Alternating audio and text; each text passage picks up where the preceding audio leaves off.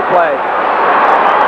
McKenzie in the corner, hit by Gibbs, and they both go down.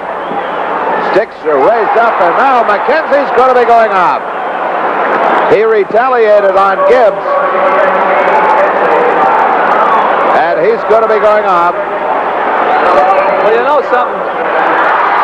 And now here goes Gibbs and McKenzie right down in front.